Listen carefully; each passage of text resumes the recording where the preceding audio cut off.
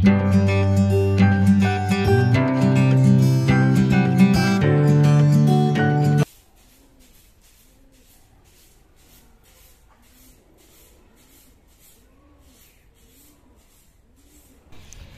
Everyone good morning कैसे हो आप सब? आशा करते हैं सब मस्त और स्वस्थ होंगे अपने अपने घर में। तो आज तारीख है 16 दिसंबर, दिन है शुक्रवार का और सुबह का टाइम है। अभी बच्चे स्कूल नहीं गए हैं हाँ बच्चे स्कूल नहीं गए हैं और मैं लग रही हूँ अपनी झाड़ू बुआरी में। लंच बना दिया है, बाकी का काम कर दिया है। सुबह सुबह एक दिन नल आते हैं ताज़ा पानी तो काम जल्दी निपट जाता है, एक दिन थोड़ा लेट हो जाता है।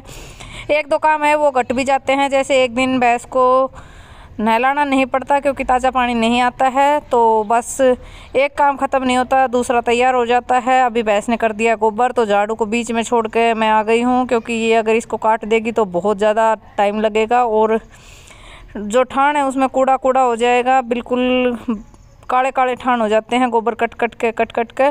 तो साथ के साथ यहीं रहने का फ़ायदा है कि अपना साथ के साथ उठा दें तो इससे ना ठान गंदे हो गए और आपकी मेहनत भी कम लगेगी।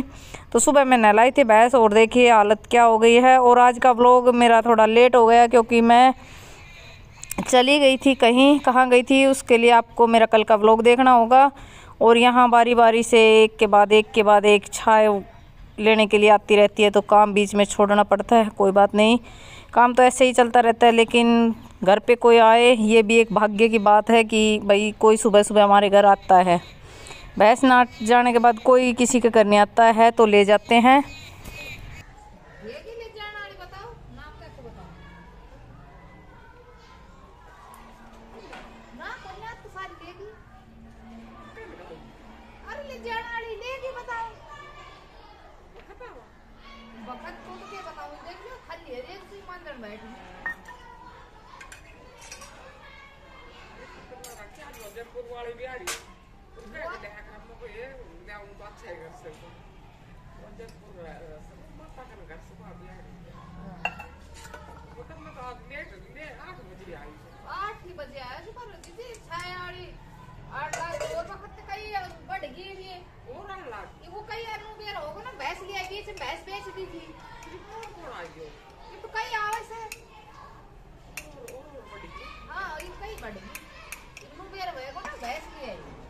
बीच भैंस दे दी थी।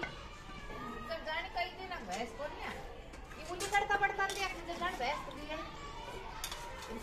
किसी को आओ ना तुम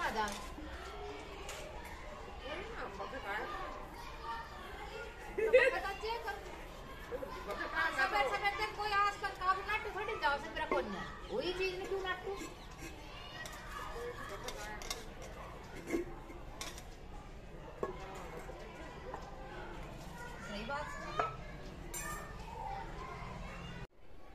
टाइम पौने दस होने वाले हैं और ये योगी ने बनाई थी ये ड्राइंग। ये ये देखो।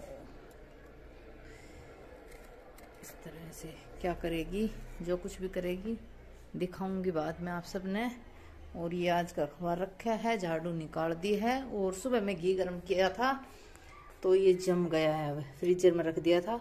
तो अब इसको साइड से थोड़ा सा हटा के इसमें जो छाय पानी जो भी है नीचे, वो निकाल दूँगी। और जोत बत्ती हमारी सुबह मॉर्निंग में हो जाती है और बच्चों ने कल सुबह शाम के टाइम निकाल लिया है चमन प्रास तो सर्दियाँ शुरू हो गई है। और ये देखिए केड़ा खराब हो गई, ठंड के कारण कोई नहीं खाता। ये दो है इन्हें मैं खा लूँगी आज दिन में। और ये तीन हो गई हैं खराब।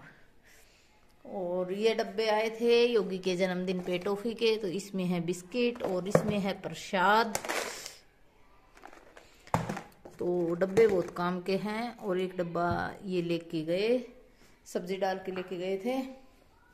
और इधर रखी हमारी डोली, घी डालने के लिए। तो चलिए, पहले करते हैं घी गरम। और काम निपट चुका है सारा। रोटी बनानी है, दूध गरम रखना है, पोचा लगाना है, सिर्फ़ तीन काम बाकी है। बाकी और सारा काम हो गया है, लाइट ऑन कर लेती हूँ। ये ले तो दिखाते हैं आप सबको ये देखिए इस साइड से हट गया है और अब इसमें जो भी चाय है, पानी है, जो भी है एक्स्ट्रा ये देखिए।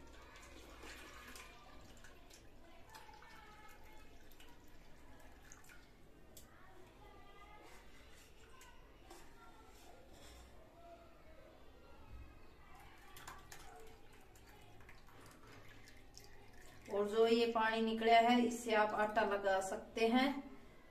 बनेगी बहुत बढ़िया। मैं तो ऐसा ही करती हूँ, लेकिन आज सुबह मैं बना रही हूँ बाजरे की रोटी। तो इसको यूज़ करूँगी शाम के टाइम इसको ढक के रख दूँगी। अब कर देते हैं गैस ऑन और घी गर्म कर लेते हैं। ठंडा होने के बाद इसको छान के और फिर डाल देंगे डोली के अंदर। ये डोली रख रखी है पहले से। तो चलिए इसको साइड में कर देते हैं और घी गर्म करने के बाद फिर बनाएँगे रोटी। क्यों लगा रखे बता दे। यार बहुत सही हो। आप पक गए है ना है ओ बस में छोड़ दे छोड़ दे लाडू बेटा ले बैठ दे हैं ये तो मोड़ी भी ना हुई मी मी मी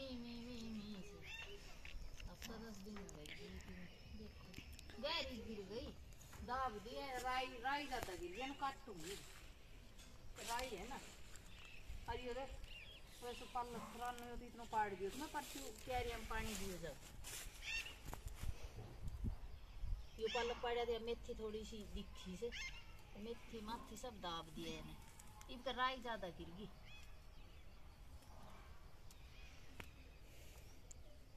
ले मेथी की बना लेंगे, रोटी आज।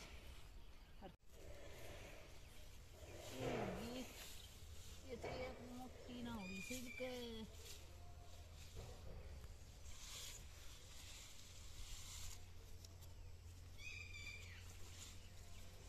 सारी सलगम